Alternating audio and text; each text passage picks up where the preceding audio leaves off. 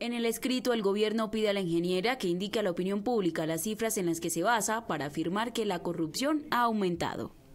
A su paso, el jefe de la cartera de transporte, Jorge Eduardo Rojas, afirmó que se está atacando la corrupción de manera contundente y destacó las acciones que en este sentido pusieron en marcha por sus antecesores y en su actual gestión, como el establecer que los proyectos tuvieran mínimos las fases 2 y 3 antes de ser adjudicados, la estructuración y puesta en marcha del proyecto de infraestructura más grande del país, la estandarización de los pliegos licitatorios en el Instituto Nacional de Vías, así como la presentación del proyecto de ley de transparencia en la contratación de obra pública.